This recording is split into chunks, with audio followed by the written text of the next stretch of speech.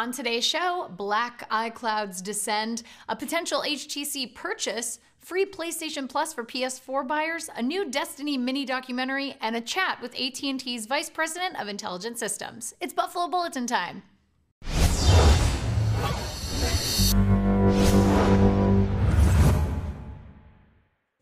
Hello, guys and dolls, and welcome to the Buffalo Bulletin, where we recap five major stories from our site, technobuffalo.com, a couple of times a week. If you're interested in reading more about any story we talk about on the show, check the description for links, or you can click on the graphics for every story if you have annotations toggled on.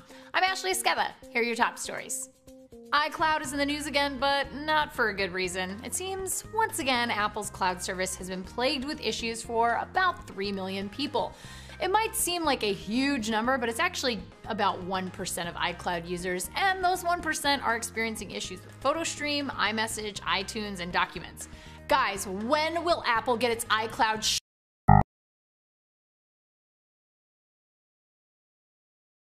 Wow, that was super weird.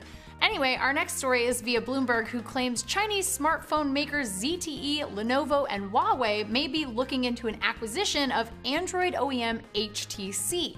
And while HTC has cranked out gorgeous phones like the HTC One this year, they've still hit an eight year low on their stock prices and may post their first net loss since 2008 next fiscal quarter. So a sale could very possibly be in their future.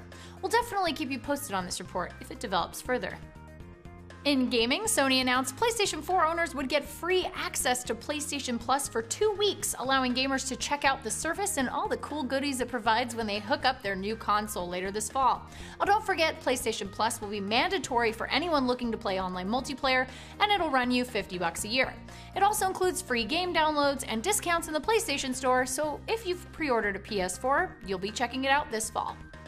Microsoft studio Bungie unleashed a mini video documentary about the making of their highly anticipated game Destiny this week. The documentary covers clips from in game, developer interviews, and all the other great stuff you'd want to see in a preview video. Even better, you won't need a new console for Destiny because it's coming in 2014 to Xbox One, PlayStation 4, Xbox 360, and PlayStation 3.